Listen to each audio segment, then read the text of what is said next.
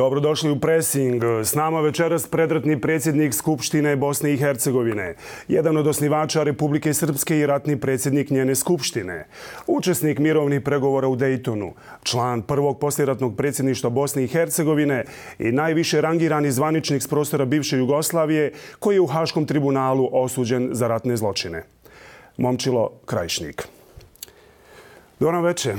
Dobar večer. Nakon što ste odležali 13 godina kazne od 20 zapravo godina za progon nesrpskog stanovništva, ležali ste u Hagu i Londonu, vratili ste se na Pale prije dvije godine, primali ste novinarske ekipe u svom uredu na Palama, ali evo ovo je nakon 23 godine prvi intervju koji dajete u Sarajevu, vašem rodnom gradu. Niste se bojali doći u Sarajevo? Pa prvo, ovaj, teško je naći nekoga koji je ovako prelivo da kao ja. Prvo nisam, rekao sam da ne mogu doći iz prosto razloga što nije meni svejedno da kraj doći ovaj, po mnogo, za mnogo to, mnogo razloga. A drugo, ovaj, pošto ste vi vrlo vješt novinar, moram da vam kažem da morate dobiti beneficiju, onda sam ja došao ovdje. Drago mi da sam došao i na kraju krajeva ovo je moj grad, nezavisno gdje čovjek živio i makako neko kvalifikovao ovako i onako. Vi ne možete izbrisati gumicom vrijeme i života i navijanje za futbalske klubove i po, ovaj, posjetu mnogim mjestima i uči, na kraju studiranju. I... Da, sma, smatrate li se još Sarajlijom? Vi imate zemlju uh, u Zabrđu kod Sarajeva, vaša porodična kuća je bila tamo. Jeste li vi Sarajlija još uvijek? Nisam Sarajlija ja sam na kraju, nažalost, e, kao kad svijeć uzmijete iz, ovaj, pa ga poslate u vaznu. Svaka izbjeglica je u stvari nesrećan čovjek i ne osjeća se srećnije kad napusti svoj kraj. Ali ono što mogu da kažem to je da ono što je čovjek e, sa sobom ponio uvijek nosi ma gdje došao. Znači, ja sam rođen ovdje. E, evo, recimo, moja firma, jedna porodična mala koju imam, ona nosi naziv Sarajevo Invest. Po uzoru na Energo Invest, jer sam ja radio u Energo Investu. I ne mislim da Sarajevo treba da pripada jednom narodu, dva ili treba pripada svima nama koji smo u njemu živjeli i koji su za njega no. na kakvi način borili. Vi ste već dvije godine slobodan čovjek. Evo, biznismen ste, kažete, imate... Mali, mali. Imate, imate firmu. Kad ste se vratili iz zatvora na Pale prije dvije godine, tad ste kazali, mnogi su bili iznenađeni time, da mm, Srbi trebaju tražiti oprost od onih kojima su činili zlo, ali da u isto vrijeme trebaju oprostiti onima koji su njima činili zlo. Pa, tačno. I danas su zastupam. Kod nas veliki broj političara se utrkuju i kopiraju zapadne političare, pa se izvinjavaju. To nije iskreno. Naš narod ne, is, ne razumije, is, ovaj, da kažem, izvinjenje, ali razumije oprost. Čovjek je srećan samo kad daje. Kad ja nekom oprostim, ja sam srećan. A taj drugi, ako oprosti meni, na isto se svodi. Samo je to e, onakvim postupkom kako to ovdje u Bosni i Hercegovini vijekovima bilo. E, to je nešto što smatram da je danas neminovno, da ljudi kažu čekajte ljudi, mi smo ratovali, napravili smo zlo, nikad se ne može izbrisati, ne možete vi vratiti onoga ko je umro, ko je poginuo, na, da kažem, na neodgovarajući način, a da ne kažem na zločinački način, ali možemo reći, čekaj, ima onaj gore, ja vjerujem u Boga, onaj će gore svima nama sud, ja ti opraštam i teško tebi što nosiš to breme. Jer ja bih imao sad pravo da kažem, mnogi smo učinili neko zlo te supruga, te nekom je snajperno ubio. Mm -hmm. Te pa da mi napame da ja mrzim sad jedan narod. Ja žalim onoga ko je to radio. Jer ne može se na taj način rješavati problem. Dobro, a da li ste vi spremni a, zatražiti oprost za ono što ste vi konkretno učinili i zbog čega ste kažnjeni a, prvo 27-godišnjom kaznom zatvora, a kasnije je to smanjeno na 20? Pa vidite, da vam kažem, mnogo sam puta analizirao da li sam ja nešto uradio što bi bilo, ajde da kažem, za, za nešto što je, oh joj, to sam se da kažem, prevari u radio i tako dalje. Sjećate se, vi ste novinar. Ja sam kad je bilo pola godine moga izlaska iz zatvora, poslao sam svim sredstvima ja, e, javnim medijima u Bosni i Hercegovini i ljudima pojedinačno, ajde, ima li iko da kaže da je Momčilo Krajišnik potpisao, naredio ili nekom nešto uradio zlo? Jer znate što je najgora osuda je osuda ljudi s kojima ste živjeli. Dobro, vi hoćete reći da niste ništa zlo uradili? Ništa nisam zlo. Ali evo što da vam kažem, ja sam samo kriv po, po presudi tamo, mm -hmm. rad toga što sam poremetio nečije, da kažem, planove. Evo, neka sad danas pozivam sve građane ovaj, Bosne i Hercegovine. Neka kažu i jednu stvar da sam ja nekom nešto učinio. Ali jedno, da ne bi ispalo nesporazuma, ja sam se borio 13,5 e, godina i nisam uspio dokazati da nisam kriv. Ja tu presudu poštujem. Dobro, vi ste osuđeni za progon nesrpskog stanovništva, znači Bošnjaka i Hrvata s teritorije Republike Srpske, ali evo sada tvrdite da to niste uradili. Haški tribunal je dokazao da jeste. Vidite nešto, ako pročitate moju presudu, uh mhm. -huh. počeli smo o njoj, možda ima aktualni tema. Pričat ćemo mi, ja, ima ja, Dayton je aktualna tema, ja, doćemo do samo toga Samo da vam nešto kažem, moje presude stoji ovako. Ja sam kriv kao član, kako oni kažu, zločinačko, ukdušno zločinačko podruhvat, grupa jedna ljudi, zbog toga što je neko iz te grupe uradio. Konkretno, neko je protjerao, recimo, pod presudi -hmm. ovaj, nes, nesrpsko, nesrpske stanovništvo, zapravo ajde, zarobljenike, sa manjače. To je bilo pod komandom Ratka Mladića, vojska, pošto je to vojska, kako radu, kažu, radili, a ja sam u toj grupi s njime, ja sam za to kriv. Ni jedne direktne nema kvalifikacije da kaže da sam ja nekoga protjerao. Znači, Dobro, to je suština. Ali vi se niste složili s tom presudom, ali ste je prihvatili. Ne, samo da vam kažem jedno. Ne možete vi, ako si igra utakmica i dođe kraj, sve vi kažete, znate, ja sam mogu dati pet golova. Presuda je verifikovana, ja kažem presuda je e, ovaj donesena, ja nju poštujem jer bi bilo kao da kaže dijete, e sad nema me. Ali jedno, ja se nisam složio da sam ja ratni zločinac. Ja ću sada tražiti reviziju i svim ću sredstvima dokazivati da, to nis, da nisam čovjek iz te priče. Jer nije, presud, nije kazna, što ljudima sad ovo ne, što ljudi ne razume, nije kazna godine zatvora. Čovjek, vi ste mlad, vi ćete brzo ostariti. I umrijeće čovjek, ali je kvalifikacija da vas neko osudi za nešto, da ste u rada niste, je to najveća kazna. Dobro, ali kako ćete skinuti to? Evo, Haški tribunal će zatvoriti svoja vrata vrlo brzo, najdalje za dvije godine. Kome ćete se žaliti? Sto godina ima se pravo revizija napraviti i ima tamo posebno, ja, ja ću što prije, ja sam sva dokumenta pribavio. Evo, konkretno, sad ću vam reći, evo, baš tu manjaču. Mene je neko osudio da sam ja kriv što je Ratko Mladić kao, kao komandant njegova vojska proterlati. Ja sam dokazao da se ti ljudi otišli, da je Crveni krst sve njih intervjuisao i da je u organizaciji Međunarodnog Crvenog krsta su ti ljudi otišli. Vremena. Ja sam moram dokazivati da neko od njih nije kriv da bi ja bio čist, da bi ja ne bio... Dobro, vi pokušavate prebaciti odgovornost na vojno rukovodstvo. Vojno rukovodstvo prebacuje na političko. Pa neko je kriv. Ne, to nije prvo progon to bilo, nego je Međunarodni crveni krst pozvao ljude da ode. Je treba njegov njih pitati što ste te ljude organizovali da odu. Primjer, govori, imate drugi pa primjer. Dobro, sad će se uvrijediti ljudi koji su prošli strašne uh, torture uh, u Manjači. Vi kažete da je etiketa ratnog zločinca koju nosite zapravo uh, najveća kazna Jedina. koju imate. Jedina. Mene ne interesuje. Vetan Sante, 13 Je vas vriđa kad neko kaže da ste vi ratni zločinac? Ja prvo ne vriđam ni malo taj čovjek nije ovaj taj čovjek ne razumije ništa. Ne, ali evo, e, presuda je dakle da ste ratni zločinac. Jel vas vrijeđa kad vam neko kaže da ste to? Pa prvo niko mi ne kaže, aj da kaže. Ja to čovjeka želim, mora da zna.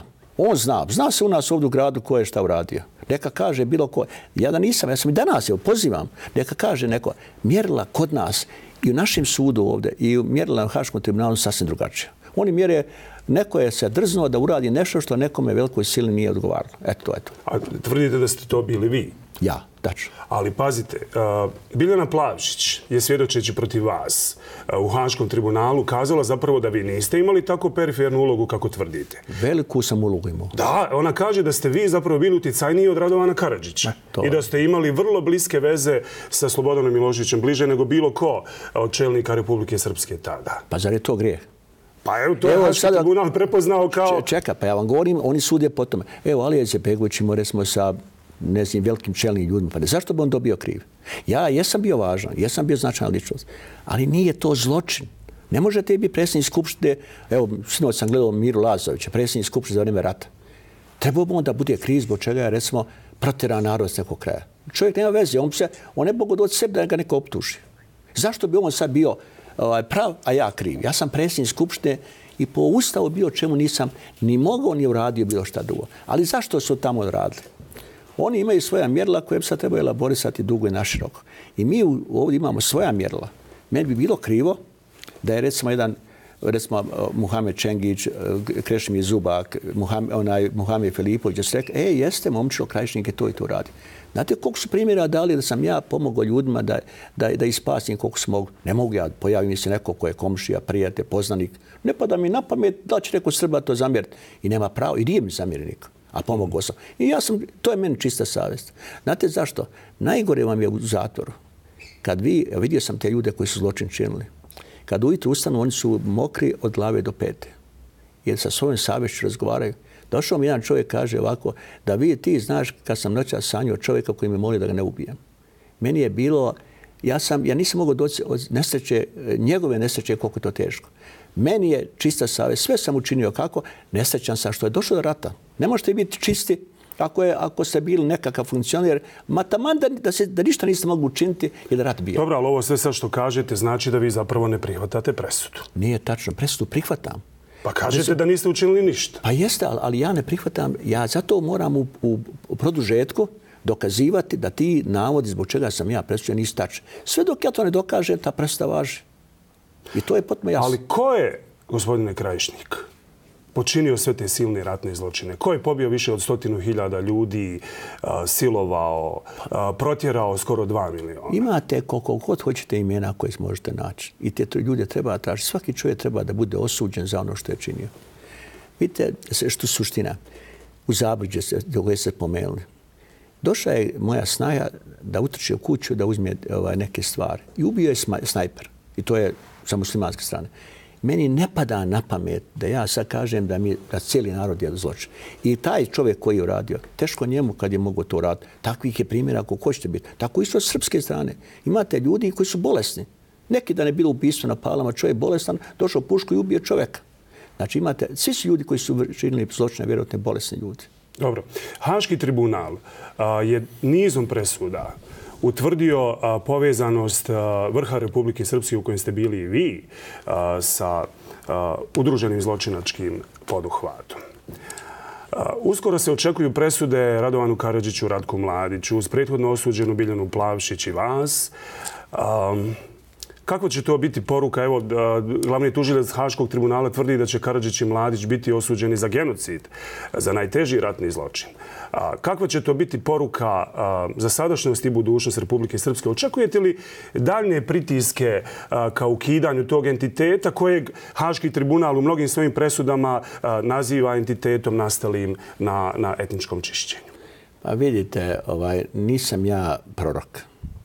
I e, vrlo je ružno kad bi ja e, e, arbitrirao šta će biti, kako će biti.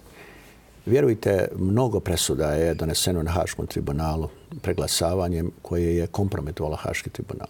Ima, on je, mi ne bi mogli da sudimo umjesto njih. Mi nismo objektivni. Ali mislim da se politika, naopaka politika bilo umješala koja je na neki način, ne može to sud nekoga na doživotni zato i drugi ga, drugi ga put osloboditi. Nema tu argumenta. i Pogotovo ti argument nisu dobri. To ja prigovaram i našem sudu. Mora biti objektivan i neka sudi svako ko je, ko je kriv.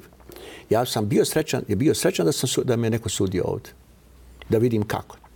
A da kažem udružen zločinački poduhvat. Sve što su meni oni naveli kao argumente, sve to ima i na jednoj i drugoj strani. Da je bio sastanak, da je bio ovo, da je bio ono. Oni su samo rekli ti si bio važan i mogu se raditi. Kako sam ja mogu znati šta se dešava u Kotor Varaš? A jeste li znali šta se dešava u Sarajevu? da je grad pod stalnim granatiranjem, da su snajperisti pucali. Jeste znali šta se desilo u Srebrenici? Samo da vam kažem da, da me puno pitanja postavljate. Ovako. Pa evo, kažete evo, jeste, da niste znali ništa. Ne, čekaj, samo da ne trebate, ja ću vam reći sve što vas Ajde. interesuje. U Sarajevu, jeste li, je li znalo rukovodstvo što se dešava u samom Sarajevu ovdje? Imate e, 25 je bio neki privatni zatvora. Ja sam razgovarao sa Alijom Zebegović. Jesi ti znao za Juku, za ovo, za ono? Kaže, vjeruj da nisam znao. Nisam znao gdje su nestajali ljudi. Vi možete bi imati 500 metara neku stvar pa da ne znate šta se desi toku rata. Zašto? Zločin su ljudi strašno krili. Krili da sakrije. Ko se hvali sa zločinom?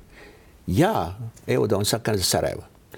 Imali smo deset najmije e, razgovora u vezi toga da baš recimo u Svaki put je dolazo naše, naši vojnika sljedeće obrazloženja. Oni napadaju nas, ovaj, provociraju i e, vojskom hoće da probiju to, to, i mi samo odgovaramo. Odgovaramo vatru na vatru. Imamo i sporazum i to sam ja dokazivo. Ja za sve te optužbe koje su bile, sve, na ovu cijele Bosne i Hercegovine, ni za jednu nisam optužen, osuđen. Ni za jednu. Nijedan svjedok od 180 koliko je bio, nijedan nije rekao da sam ja uradio jednu stvar. Nijedan. Ni Srbi, Hrvat, ni musliman. Jedan je bio Hrvat koji je nešto govorio važan i tako dalje. Moja jedina stvar, momčo krajišnjih važan i sad je mogu uraditi. Pa evo, da zašto nije mogu uraditi jedan bilo koji političar odavde, državnik iz federacije, šta se desilo, šta ja znam, na, evo, primjer, govori u Zenici, ne znam gdje. Nije. Je toga što su ti lokalni, stvari, lokalni ljudi to učinili i krili. Što? Da. Ali evo, vi, uh, ukoliko ne uspijete skinuti tu etiketu Skinut ću, nemojte brinuti. osuđenog ratnog zločinca, dakle, ostaćete zabilježeni u historiji kao uh, prvi predsjednik Skupštine na svijetu koji je osuđen za ratne zločine. To će biti ruka onoga me sudio. Vjerujte. Ne može zdrava logika da bude. Ne može zdrava logika biti da sam ja, recimo, ni potpisao, ni tijeko svjedočio. Znate zašto? Samo što sam poremetio nečije krugove. A čije krugove? Stalno govorite o tim krugovima. Su to krugovi međunarodne zajednice ili šta? Slušaj, kad bi znao, ne bi vam to rekao. Zašto? Je, zato što idem u reviziju. A recimo ne znam. Samo znam jedno. Vidite, evo, vi to znate, niste vi stari, vi ste mlad čovjek. Poslije rata, ja sam prošao svu proceduru za člana predsjedništva. Je li tako? Da. Izabran sam. Kad ste već tu oprostite, nastavit ćemo tu priču. Da li je tačno da su stranci nakon rata željeli ukidanje SDS-a, a da li Izetbegović, kojeg ste malo prije pomenuli, nije dao da se to desi? Ne znam, ali mogu da kažem nešto drugo što vas može interesovati. Alija Izetbegović je u stvari, uh, ja imam simpatije prema pokojnom Alija Izetbegovića. Znate, Imao kad... imam prema vama. Znam. a da vam samo kada, ali nikad ljubav nije jednosmjerna ulica. On je mene kupio jednog momenta kad je pokojni Nikola Koljević poginuo i tražio da bude sahranjen kod svog sina, to je na Barama. Kad su kod sina, tako rekao svoju oporuku. Ja, onda je njegova familija htjela da, isk, da ekskumira njegovog sina, da odveze u Banja Luku. Znate kako je on to domaćinski, kako je ono po čemu smo mi poznati iz Bosne i Hercegovine uradio. Momo je znam da je to tako sve ću učiniti uradio. I imali smo sto pre, razgovora. Mi smo se razumijeli. Evo da se nastavimo ovo. 95. godine je bio bio sam ovaj, bio predsjednik Skupštine i Bosne i Hercegovine i Republike Srpske i pre, provere sve bile. Sve provere bile. I bio sam završio sa svoj mandat. Ja znam tačno kad se, kad se to desilo, kad ja nekome nisam bio pogodan. Nemo nisto zavere, aj neću da govorim, ali znam, mogu, svaki je znao da kaže, čekaj, evo danas neka kažu po našim mjerila, je li momčilo Krajičnik kao predsjednik Skupštine donio neku odluku? Ima neki zakon, ima neka odluka u Republike Srpskoj koju sam ja potpisao da to nije u redu.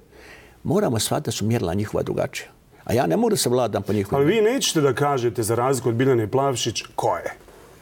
Evo, Biljana Plavšić je a, postigla nagodbu sa Haškim tribunalom, a, javno se pokajala u sudnici, rekla a, da joj je žao, priznala je zločine, Dobila je 11 godina zatvora, izašla je nakon odslužene dvije trećine kazne, onda je rekla da je folirala.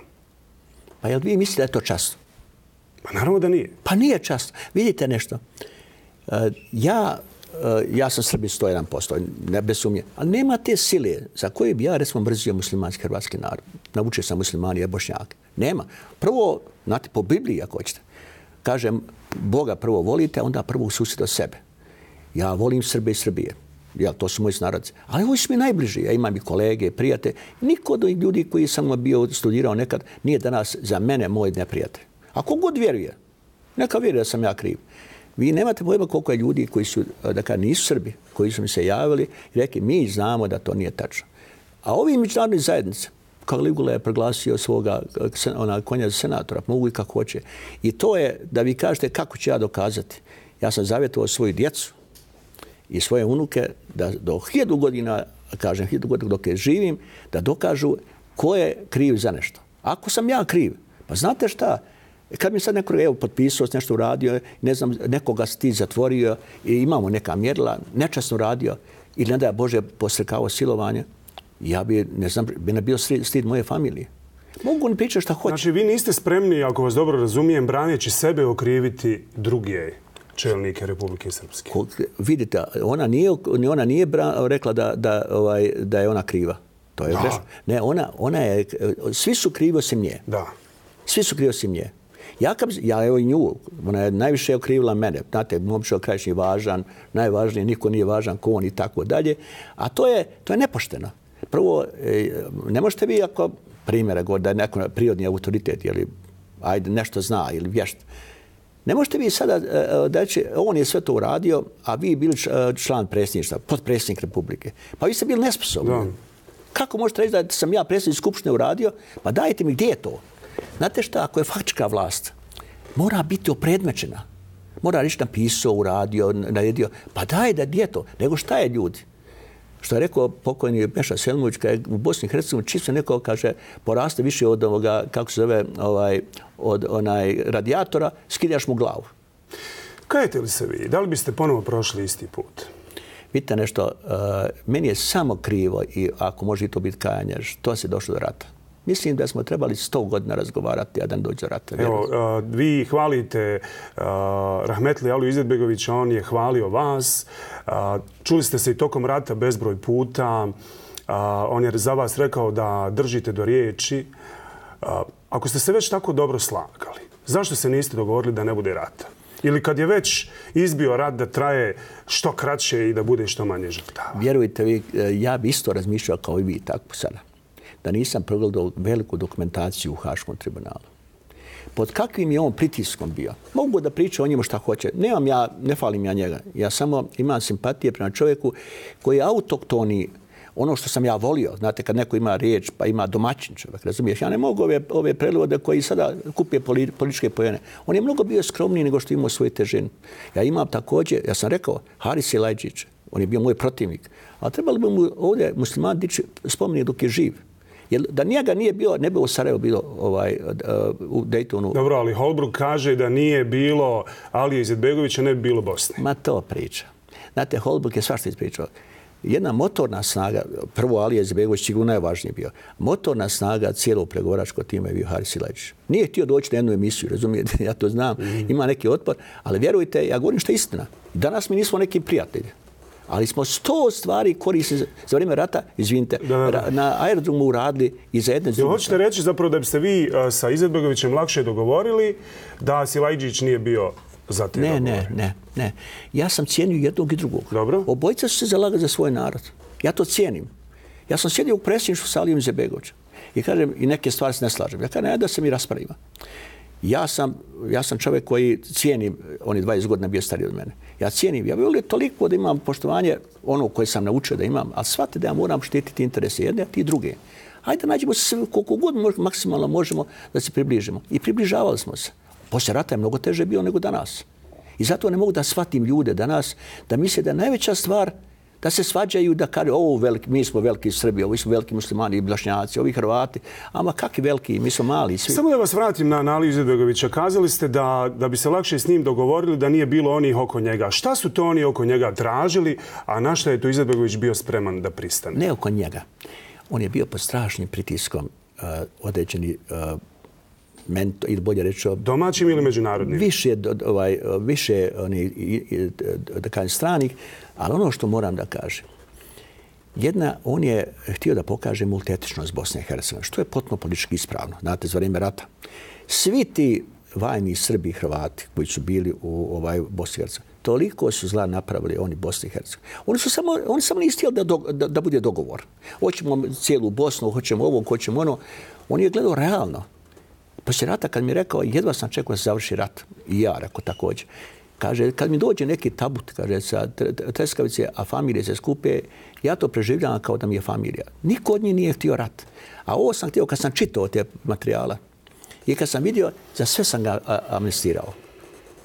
On je imao, ali, on je imao jedan istorijski izazov da budem pošten, ja sam Srbija, kažem opet, ali vidite nešto, muslimani su prvo u staroj Jugoslaviji bili, znate, o spahu, pa se morao neko, svega neko ko, ko pare za podkusarivanje. Pa onda poslije toga nesvrst, onaj, neopredeljeni, pa onda toga Srbi nazor po musliman, jedan dan ima šansa da dobije svoju državu, svoju naciju. Izvinite, koji to političar ne bi pokušao, a, a, a, a oni a, garantuju mu to velike sile. Ja to potpuno razumijem. E sad je trebalo, i ispade kriv poslije, a nije kriv nego oni koji su na kraju krajeva dirigovali svima nama. I samo poremete stvari zamute i onda odu da mi svađamo. Mi smo više puta bili blizu da dogovor napravimo. U ratu ili posle? U ratu. Aha, koji dogovor? Kakav dogovor? Pa vidite da se nešto. podijeli zemlja ili uh, da preživi Bosna i Hercegovina? Nije da, pre, da, nije da podijeli zemlja. Nikad se treba, nije trebala podijeliti zemlja na silu. Ona se mogla podijeliti ako se slože tri strane. Ja nikad se ne bi složio, kadem ja pa malo nepredstavljeno, nikad se ne bi složio da taman, evo, da Republika Srpska treba da ide, ne znam, sa Srbijom ili da se odvoji sama. Nikad između nas ne smije biti Arabe. To je prvo na, neprirodno, prvo što, što je naopako i suština je trebala je samo transformisati Bosnu, Bosnu kakva je mogla posle raspada Jugoslavije da bude. Ona je trebala biti jedna, jedna da kaže, malo složenija i polako pustimo vreme da se uzbližavaju.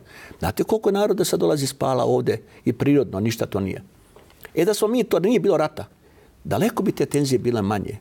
Čim se zarati, onda je sve to teže vrat na, na početnu poziciju. Dobro, evo zanimljiva je znači vaša uloga. Vi ste s etiketom osuđenog ratnog zločinca. Čovjek koji se danas Vi nikako zalaže... da odete od tog etikete. Zalaže, a, pa, pa to vi nosite, šta ću, nisam vam ja kriv. Dobro. A, za, danas se zalažete za mir, pomirenje a, među narodima. A, kako mislite da može doći do, do tog pomirenja i do, do, do trajnog mira u ovoj zemlji? Da li treba... A, ovako kako vi kažete, um, relativizirati stvari, na neki način i zaboraviti, ići dalje, ili treba uh, stalno živjeti u prošlosti, a nadati se nekoj boljoj budućnosti? E, postoje tri vremenska perioda. Prošlost, sadašnjost i budućnost. Naš narod stalno kaže, ma nije buduć, prošlost bitna, hoće sadašnjost da što prije e, potroše, a od budućnosti očekuju čuda. A što kaže Jovan Dučić, ne znaju da nekad budućnost, od budućnosti se treba neki ljudi da plaše više od života nego smrt. Ja smatram danas da treba vrat naše vrijednosti koje su krasile Bosnu i Hercegovini. U Bosni i Hercegovini se poštovala druga strana. Moj otac je mene uvijek kaže, slušaj, možeš da uvrijediš svoju e, vjeru, kako je on to govorio, a ne smiješ tuđu. Mora biti poštovanja. Sada u ovom momentu, vjerujem, najdobro namjernije to govorim. Ima jedna grupa političara, bošnjaka, muslimana koji su. Sve rade protiv Bosne i Hercegovine. A kako? Evo, ja, ja imam simpatije prema pokonu Ali Izebegović i sad volio bi da bude njegov sin mnogo, da kaže, bude bolji od njega. Mm -hmm. Ne može on sada da problematice dan Republike Srpske. Neće ništa, ništa time uraditi. Ne može se stalno sa druge ovdje doći agresori, ovaj, onda su, šta ja znam, ovaj, genocid i tako dalje. Pusti, to se zna. Ko što bi ja sad rekao, ja sam žedan, žedan, žedan. Znate, ne, Ko je bolji, Alija ili Bakir? Bolji Alija mnogo. A ja volio da je Bakir bolji.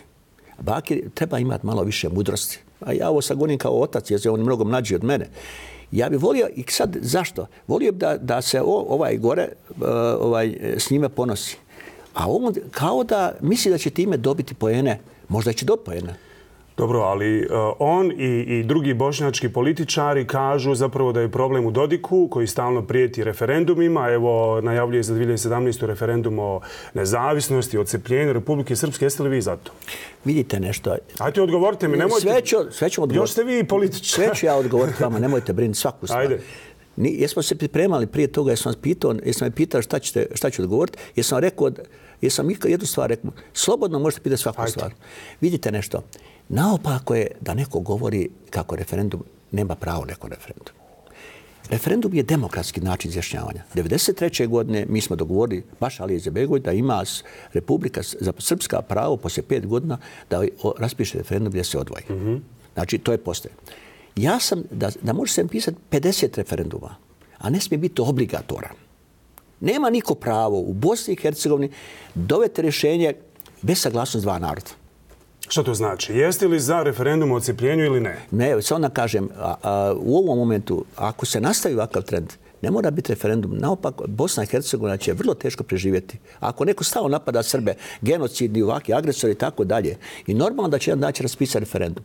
Ovo političar danas mnoge stvari radi onoga, kako se zove, radi pojena radi. Mm -hmm. Ja kažem, i kad bi bilo takav jedan referendum, ja ne znam šta će biti sutra, on ne može biti obligatoran kao što je bio u martu 90. Dobro, ali evo, a lider SDS-a, Mladen Bosić, lider NDP-a, Dragan Čavić, kažu da bi taj referendum Republiku Srpsku odveo u nestanak.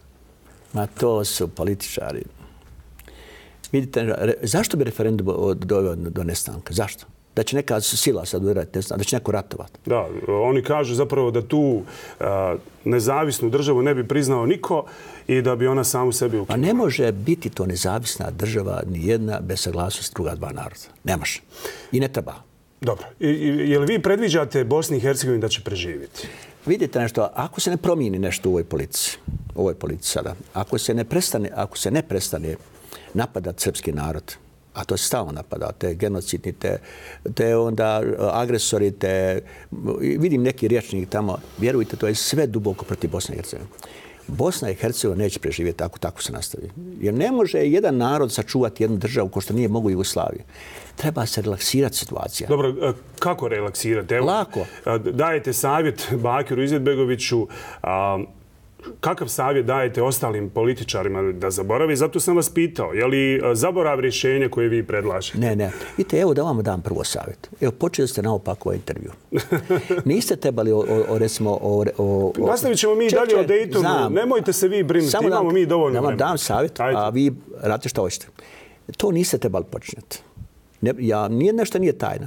Trebalo sam pričati o mnogo važnijih stvari. Pa evo pričam, ovo su sve Dobro. važne stvari. Vi za... Zar budućnost zemlje nije najvažnija stvar? Sa, Zar, da, mir tačno. također nije... nije... Ali nije, nije važno da li je momčo krajičnik osuđen u Hašmom tribunalu. Nije to važno. Pa, to se zna. Je. Pa pazite, da se razumijemo. Večeras ljudi kad uključe, se... kad uključe televizore, a, očekivat će da vas pitam u vezi s onim što je vaša etiketa. Sve sa... ostalo bi bilo smiješno. Ja vama rekao, a vi kako hoćete. Dobro.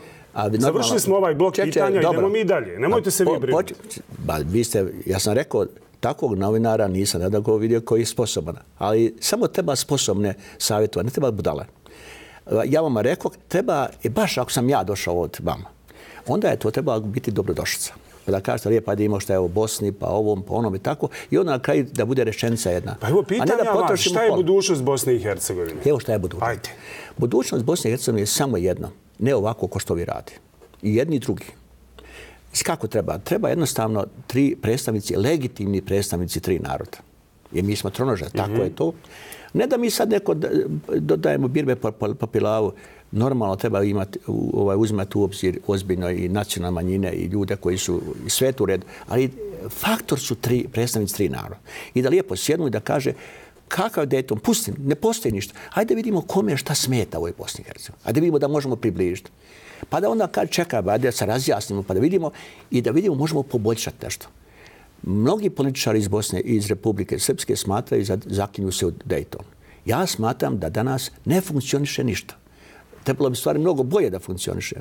I trebalo bi naći rješenje ne mogu da razumije zašto se podmeću svi jednim drugima noge. Mogu li oni koji su zakuhali ovo sve donijeti to rješenje ili su ovi današnji sposobniji od vas? Vidite, samo na nešto kažem. Hajde, pa, pa odgovarajte mi direktno sve, pa ćemo brzo sve ću vam reći, pa moram obrazložiti. Eto, vidi, na, da i ne je nešto što je sigurno sukusa. Mogu samo legitimni predstavnici tri naroda. A ko je legitiman, to narod ko radi. Ne mogu neko, neki momčilo krajište, ako nije u vlasti, ne treba učestvovati. Ako je u vlasti, može. Nisam u vlasti, ne treba učestvovati. Ako neko zove da mu neko kaže jednu riječ, mogu, ali nikome sad nas savjeti ne treba. Znači, legitimni predstavnici trebaju da dođu i da oni o tome odlučuju. Hoćete li se vi vratiti u politiku? Sve ću čin da ne se ne vrati. Ja nemam nijedan razlog. Članstvo SDS-a vas priziva na čelo te stranke. Što ću ja tam? Nećete. Pa evo, vidite, kao što ste vi, ima to s moji sinovi. Tako. Ovi mladi sve znaju. Je li tako? Ja se, ja se divim mladosti. Mladost je dobra, teško onome ako to ne priznaje. I treba jednostavno da radite neki, neki posao koji ima odgovara. Ja imam mnogo obaveza, mnogo poslova, mnogo planova, a nijednom nije uh, politika. Iako se nikad ne zaklinjem, nikad se ne zna šta mhm. može biti. Ko je danas izdajnik srpskog naroda? Dodik kaže da su to Bosić, Ivanić, Čavić, predstavnici Republike Srpske na nivou Bosne i Hercegovine. Oni opet kažu da je Dodik izdajnik da Republiku Srpsku vodi u propast. Ko je za vas? ja mislim da nije jedan izdajnik. Vidite, izdajnik je nešto, Quisling je samo bil Norveško. Sve ostalo su kopije. A šta se dešava? Dešava se da neko može nespretnom politikom radi. Ima pomalo i poltronstva u dva raštva. Ima, ljudi se kupe za neke interese i tako dalje. Ja smatram da je neminovno ono što zamjenam političarima iz SDS-a, čiji sam ja na kraju član, ili bolje rečeno, ja, to je moja stranka, to sam mm -hmm. osnovao, zamjeram im zašto oni ne, ovaj, zašto ne napravi zajednički nastup na nivou Bosne i Hercegovine? Sa SNSD-om? Jeste. I mislim i drugim faktorima. Zašto? Nije u vrijeme vlasti, privilegija, ni u Bosni i Hercegovini, ni u Republici Srpskoj. Ovo je vrijeme obaveza. A vidite li vi koliko je zadužena ova, ova država? I Bosna i Hercegovina, i, i Federacija, i Republika Srpska. Pa znate koliko smo se mi zgražavali kad je, kad je bilo 25 milijuna, 25, ovaj, 25, 25 milijardi i 25 milijuna stavnika. A danas je svaka zadužena kod toko Jugoslavija. Pa da napravimo blagostanje. Kad je blagostanje, niko neće govoriti ko je Hrvat, ko je Srbin, ko je musliman. I zato ja smatram da u ovom momentu uh, nisu to izdajnice. Ne, ta vam posla. To su ljudi koji na svoj način misli da treba tako voditi politiku Eh, ja, a ono što, je, što ja zamjeram ovim političarima eh, s druge strane, uvijek su oni drugi krivi. Od najbenignije eh, Srbina staviš je najradikalnijeg. Kad stalno, to su onaj, onaj agresori, to su genocid. Nije to dobro. Jeste li za srpsko-bošnjački dijalog koji je inicirao premijer Srbije Vučić? Jesam, kako ne. E, to je fantastično.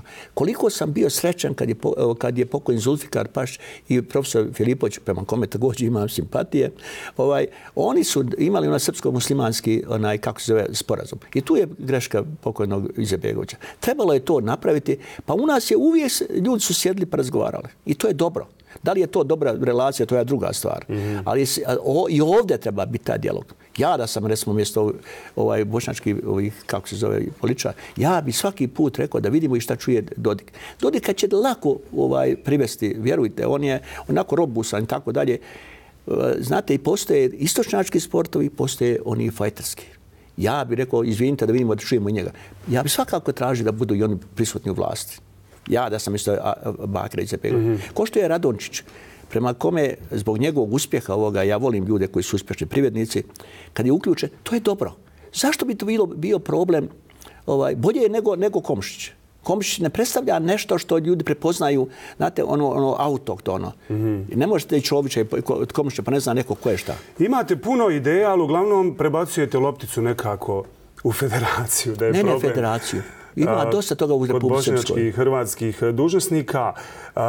Ove godine Bosna i Hercegovina obilježava 20. godišnjicu Dejtonskog mirovnog sporozuma, 20 godina mira. Neki kažu mnogo, 20 godina, kako ništa nije učinjeno. A neki kažu tek 20 godina. Vi ste bili učesnik tih povijesnih pregovora u Dejtonu. Holbrook vas je prozvao Mr. No zbog vašeg stalnog ne, ne, ne. Ali vi tvrdite da ste, da ste za dialog i da ste se dobro dogovarali sa, sa, sa Izetbegovićem. Oni koji su kritizirali Dayton sad su najveći njegovi branitelji. I obratno. Treba li mijenjati Dayton? Ne treba mijenjati Dayton. Dayton treba zaboraviti staviti ga tamo da on funkcioniše, a treba sjesti predstavnici tri naroda i reći, evo, kuda ništa je da vidimo kako bi ova država bolje išla. I onda polako, ono što se dogovore, ajmo da promijenimo. Ono što, ono što nagovornik ostane tamo. Da će doći do promjene, normalno nema toga što je sveto slovo. Ja smatram da je opasno zagovaranje centralizacije i opasno podmetati nogu. Ako smo se dogovorili, a ja držim do riječi, dogovor da Bosna i Hercegovina postoji. Ona je sad postala Srbima teret na toga što je ona skupa država i što neko stalno kaže kako smo nepoželjni u Bosni i Hercegovini. Ali, ali ako postoji, nemoj da podmećemo nogu, ona mora da se iskoristi maksimalno da bi narod bilo bolje. I zato ja smatram, uh, zaboravimo da je to, evo, onako stoji po strani, hajde lijepo sjedimo da vidimo ljudi kako kako da funkcioniše ovo, kako ono i tako dalje. Šta smo sad napravili? Napravili smo da bi napravili kao da je država normala, ili bolje rečeno da je funkcionalna, napravili smo veliku masu ovaj, činovnika koji rade i skupa država. On ne može potnijeti. Da li je tačno ovo što govore razni učesnici Daytona, a i mnogi međunarodni predstavnici, da su rješenja koja su parafirana u Americi, potpisana u Parizu, zapravo dogovorena davno prije, 51-49, i da se zapravo znalo da će tako u tako dogovorenoj konstelaciji pasti Srebrenica i da će se desiti sve stvari koje su se desile nakon 1993. godine. Evo, vi ste bili aktivni u svega toga. Recite nam, da li je ova podjela koju ste malo prije pomenuli zapravo bila uvod u, u, u Dejtonski sporazum? 1993. godine je potpisana deklaracija koju sam pomenuo 23. septembra e, muslimansko-hrvatska i, i, i muslimansko-srpska u kome smo baš e, napravili da to bude trodijelna Bosna, normalna Bosna kao država da postoji, trodilna Bosna u kojoj bi bila tri republike. Muslimanska republika Bosna i Hercegovina, Srpska republika Bosna i Hercegovina i Hrvatska republika Bosna i Hercegovina. I tada, tada je, tada je bošnjačka, da kažem, strana bi imala eh, teš, eh, tešku situaciju. Imala su gore, kako se gore, eh, ona krajina Avdićeva, I e, tada je e, napravljen, e, tada je napravljen u stvari dogovor da se da se dođe do jednog rješenja koje bi moglo biti, da kažem, ajde, da, da kažem, trajno. Šta se desilo kasnije? Desilo, desilo se kasnije da je, da je ovaj, znači u to vrijeme, e, našoj delegaciji su došli predstavnici muslimanskog iz delegacije. I rekli su, tačno, ovo govorim, Bog je svjedo da je tačno. Rekli, dajte nam 30% teritorije naše i da slobodno možete ići sa Srbijom. Ovo je ko, ta... ko je to rekao? E, to neće da kaže. I drugo, poslije... Ko je mogao i mi smo, dozvolite samo. I mi smo, rekao sam da neće da kaže. I drugo, uh, poslije toga smo mi pravili uh, pravili muslimanska, hrvatska i srpska delegacija pravila je mjesec dana tu, da kažem, uh, 30% teritorija. Poslije određenog vremena kaže daj tam 33% teritorija. Pa smo 3% pravili svim sredstvima kako je god moguće. I 33% teritorije bi palo tada... Dobro, Izetbegović nije živ, ne možemo ga ovo pitati, ali možemo Silajđića. Pitaćete vi. Da li su oni, znači, pristali na tu muslimansku državu 90? A vidite, imate, imate dokumenta. Dobro. Ok. A, I šta se dalje dešavalo? I vidite, i 33% je dato. I onda kad su došli, vidimo sad kako Hrvatsku teritoriju mm -hmm. napravimo. I Hrvatski su rekli 16%. Znači 33 i 16, to je 49%. Jeli? I onda je došao ovaj, Tuđman, rekao, molim te, dajte nam, nas je 17%, imamo 17%. I to je bilo 40, zapravo 50,5. 50, Napravili smo mapu. Mapu ispalo je 51%. Srbi su dobili 49%, 51% i to imate mapu, te, to je ta takozvana Unija tri republike. I dok ste vi crtali mape, igrali se matematike, ginuli su ljudi. Opet, opet naopako kao novara pričati. Vidite nešto, evo sada, sada svako od nas može doći dobiti pomirenja. Uzmite svak svoju ulogu. Nije matematika, morali ste jedino pravo pitanje o kome smo se mi razilazili, to su mape. Sve ostalo lako bilo dogovoriti. Šta treba da ne pravimo? Ne napravimo mape, da pričamo, dogovorili smo, idemo svak sebi kući.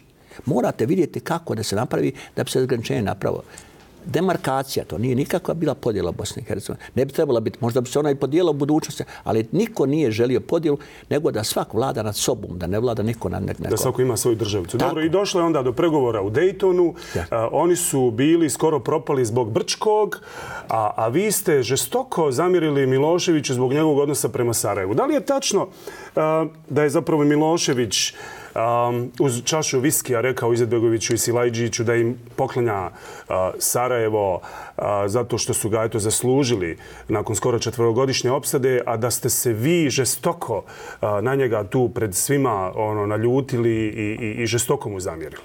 Pa nisam pred svima njima, ali da vam nešto kažem. Uh, strašno zamjerio Milošević i to je napravljena jedna velika šteta za Bosnu, Hercegovinu, normalno i za ljude Srbe i Sarajeva. Mi smo šetajući po ovome, tome parku jednom sreli naša delegacija Republike Srpske i tu je krivo kao zajednička delegacija, kao Milošević bio ovlašen da pregovara. To nije tačno, isto. Mi smo šetajući sreli Holbruka. I onda mm -hmm. nam je rekao, mi možemo riješiti sve probleme, a Sarajevo nam je problem. Da li bi vi prihvatili rješenje kako je bilo prije dogovorno, a to je bilo pod ovenovom komandom, da to bude distrikt? Ja sam rekao, prihvatam prihvatamo mi da to uradimo, pustimo Sarajevo sada, ali da bude više samo ovaj opština. Pa neće biti 10, bit će 20 opština, ali da imamo gore nekako predsjedništvo mm -hmm. ovaj, Sarajeva i da ostavimo sada, jer nećemo ništa dogovoriti, odvraćamo se kući. Kaže dogovorno. I dogovorili smo se. Dogovorili smo se za izlaz na more, još jedan za Bosnu, za Bosnu Hercegovinu. Obe stvari su u noći promijenjene. Ja kažem pod navodnicima, Uh, najveću zaslugu za Sarajevo koje je pripalo muslimanskoj strani je Sileđić. On je taj motorna snaga koja je uradila. Ja mu ne zamjeram, čak i simpatično. On se bori za svoj narod. I onda kad, je, kad su nama uh, taj dan, znači dogovor smo napravili, mapu smo napravili, napravili smo izlaz na more i rješenje za Sarajevo i sve ostalo, i sve anekse. I na sam dan potpisa Milošević donosi, evo vam, kaže, ne, ne pokazuje da je Brčko problem. Nikad Brčko nije bilo problem. Znači, Brčko je trebala pripadne srpskoj strani jer je trebala biti kontinuitet teritorije. On je to, to ovaj, zajma da govori kako ovaj, Amerikanci su pragmatični. Lakše mi je s njime, a on je garantuo da će on to nešto raditi. To isto radio i Tuđman. I na samom potpisu trebao je biti potpis među tri strane. Muslimanske, srpske i hrvatske iz Bosne i Hercegovine. A ovi bi trebali biti garanti. Šta su da mi ne bi, da bi a nije htio tuđ, onaj Zubak da potpiše, ja nisam htio da potpišem i onda su on našli da to potpišu nije tri. Ispada ako su oni ratovali. I tako je, evo, to je Trnka rekao u jednoj emisiji, kao eto, to je dokaz da su ratovali. Da, i Milošević je dosta ružno govorio o delegaciji uh, bosanskih Srba. Pa on je nekako ono bio gazda tu, nazivao vas je seljacima uh, kojima on upravlja na neki pa, način. Dobro, mislim, on je, on je na kraju kreva... Dobro, ali evo, uh, kad smo već tu um, u priči o Daytonu, Holbrook je kazao da je priznanje Republike Srpske, naziva Republika Srpska jedna od najvećih grešaka Daytona. Kako ste uspjeli, evo vi kao dio pregovaračkog tima, da Republika Srpska bude Republika, a da Bosna i Hercegovina nema nikakav prefiks? Šta je Bosna i Hercegovina prema Daytonskom sporazumu? Ni Unija, ni Federacija, ni država, šta? E to se nismo ovdje govoriti, ostalo smo nedefinisano. Mi smo htjeli da bude Unija ili Konfederacija, koji su htjeli da bude država i to je onda rekli, ostamo bez toga. A da vam kažem taj naziv, i to je pogrešno u javnosti rečeno. Naziv je ovaj, uspostavljen mnogo prije Kutiljerovog plana. Tada je Kutiljerov došao i kaže, molim vas, bit će, kad su principi bili, bit će Bosna i Hercegovina transformisana u tri, uh, republi, tri entiteta. Mm -hmm. Svako možda nazove kako hoće. I mi smo rekli, evo, mi ćemo nazvati da bude, sjećate se naše prvo naziva. Bila je ovako, Srpska, Srpska republika, republika Bosna i Hercegovina. Trebala je biti muslimanska tadašnja ova republika. Mao Sao Hao. Ja, i, pa dobro, mogu se ljudi šprdati, ali, ali je to tako. Zašto? Radi toga kao što može biti neki kanton u Švajcarskoj.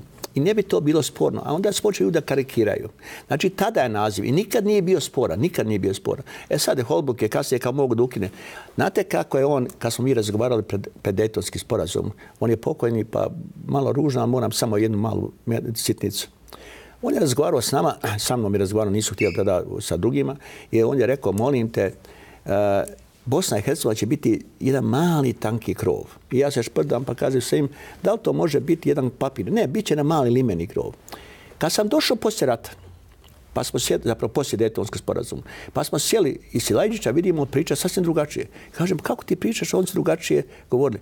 Oni su nama svima pričali šta im odgovara, mm -hmm. da bi postigli cilj. Da. Tako ko je da, najviše dobio, a ko je najviše izgubio detonski sporazum? Najviše su dobili muslimani. Vjerujte. Ja znam da to misli drugačije, ali nisu dobili samo najvažnije stvari što je ono. Najkvalitetniji dio Bosne i Hercegovine je muslimanski. Znate što znači Sarajevo? 25% vrijednosti Bosne i Hercegovine. Što stalno govorite muslimani? Imate problem da kažete Ne, ne, Bože sačuvaj. Aha, mislim... Vjeru, vjerujte na sam kaj, ja imam puno poštovanja. Mm -hmm. Tamam posla, nego imam naviku, a, a to ne pada mi na pamet. Ovo su budale koji su to problematizio. Dobro, aj nastavite. A, samo da vam kažem, i šta se dešava? Imate uh, vrijednost ovoga dijela koji je prosperitetno, ajde da kažem, vlast je ima, ajde da kažem, muslimanski, boš, bošnjački, bošnjački ovaj, e, politički establishment, to vrijedi preko 50%. Sarajevo, ovaj, Tuzla, ovaj, e, kako se govori, Bihać, pola Mostara, ajde da kažem, pola Mostara, uslovo rečeno, nije to ikad. I sad vi imate, mi imamo faktički Eh, na 25. mjestu po, po razvoju je bio Banja Luka. Mi nemamo grada. Imamo ono ša, polja i njive. I sada, ali dobri su ovim ratom, svi i svi su gubitnici. Muslima, bošnjska strana je htjela da bude, da ima Bosnu, da izvoji se iz Jugoslavije. Ostvarne. Da bude država. Hrvati su htjeli da stvore veliku Hrvatsku, bolje Hrvatsku. I žrtvovaće se. Srbi su htjeli imati svoj entitet. Daj mi koliko bude, ali da je to moje na mojim etničkim prostorima. Neke stvari smo izgubili, neke smo dobili. I svi su dobili. Šta su izgubili? Izgubili su što kad ja, kad sam bio tamo u Hagu, kad sam vidio, pa gledao sam Hayat, koji je zločasto se ponaša prema Srba, ali jedina moja informativna e, studija, e, e, emisija, pa oprostite, no, ovaj, televizija bila, ja sad slušam, znate, ono, u uoči Bajrama, Ramazan, i neke nene iz Njorka, i ne znam odakle, one se javljaju, jedna, one tamo pripremila sam iftar i ostalo što smo e, narod rastirali na sve strane. I šta sad dešava? Ne treba nam zemlja koji nam sad mladi odlazi ovdje. To je nesreća. E šta bi sad trebalo?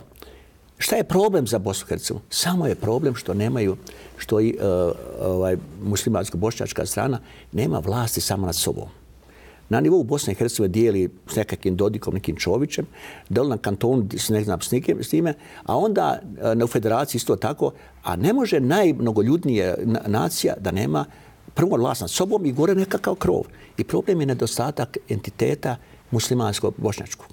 Kada je to entitet ima, razumijete, a da gore svi participiramo i da svak živi gdje hoće, onda bi oni bi potpuno, da kaže, zadovoljni. Sada, sada mi svi kažemo da je problem entitet Hrvatske. Nije tačno.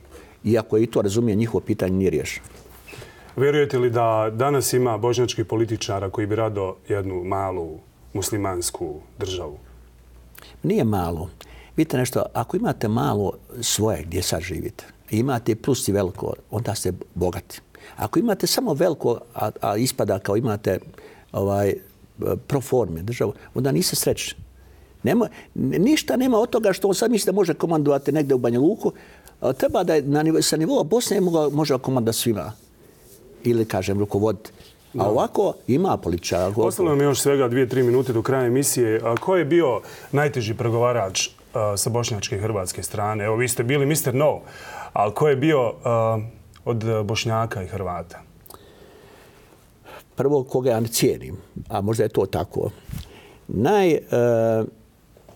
najsnažniji e, e, zaštitnik e, muslimanskih interesa je bio apsolutno Alija Izebegović i Haris Ilajčić. I oni su najzaslužniji. Bilo je drugi političara. Ja recimo cijenim prvo, prvo mislioca dobroga ili pametnog, to je ovoga Muhameda Filip, profesora Muhameda Filipovića. Sa hrvatske strane, nažalost, oni su najmanje bili samostalni. Nije pošteno što sad govori kako Srbi sad nešto sa Miloševića okrivljuju. Milošević je samo naufatio svoju šansu kad je bili su sankcije u pitanju da u Daytonu to skine i tu je napravio da grešku. A htio sam samo jednu stvar radi javše javnosti da kažem. Poslije Daytona ja sam predlagao da se napravi također distrikt e, Sarajevo. Da ljudi ne bi išli Sarajevo. Da je napravljen taj distrikt. Vas su optužili da ste pozvali ljude, Srbe, da napuste Sarajevo. Vi ste u kasnijim intervjuima tvrdili da nikad niste e, poručili Srbima da nakon Daytona idu uh, širom uh, Republike Srpske, Srbije, Crne Gore, ali da napuste Sarajevo. Evo, Jeste li ili niste? Ta optužba je potpuno gnusna laž. Ja sam samo se zalagao da ostalo Srbi u Sarajevu. Ono što je problem, Srbi su htjeli u početnom po momentu imaju svoju tu lokalnu e, autonomiju, policije se plašili. Da smo mi, da su ljudi imali e, pamet, i tu je greška pokojno Miloš, mm. onoga iz Ebegovića, da kada, dobro, i distrikt, ostaje 20 opština, neki mali, pa ostali Srbi koji je bio 20%, nije bitno koliko je, najjača kopča za Bosnu i Hercegovinu bilo bi to Sarajevo. Šta, mi smo tu kopču razvezali i sad neki kažu treba da se napravi distrikt kad Srba tu nema. I... No dobro, ima Srba, nije da nema. Nemojte sada, vi ćete biti budući političar, nemojte sad biti... Neće, nema, ne daj Bože. Nema ih. Ima ih, nema ih, ne, ne, koliko ih je bilo nema. prije rata ni blizu, ali ih ima. Nema, znate koliko ih ima? Na prste možete izbrojati.